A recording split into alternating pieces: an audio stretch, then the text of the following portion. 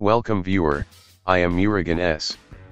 This video tutorial describes, fix drive is marked as dirty in Windows 11, 10. First method is hold shift key and click restart.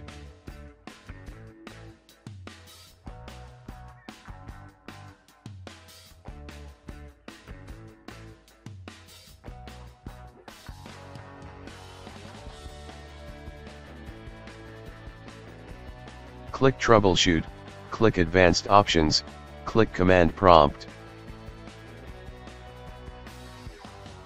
Type chkdsk space, C colon space, slash f space, slash x space, slash r.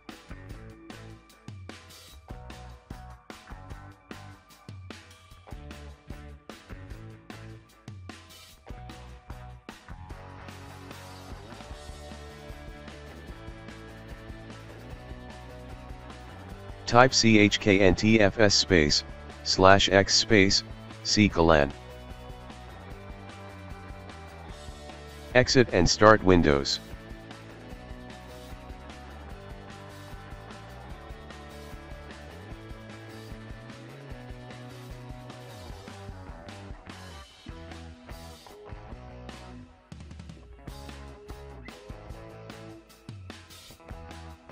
Second method is type disk cleanup in Windows search bar, click disk cleanup.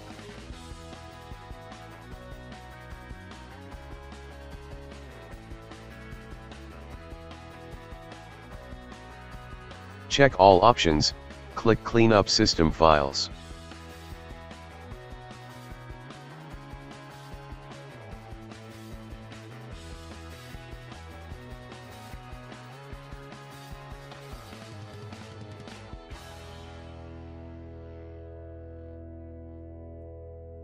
Check all options.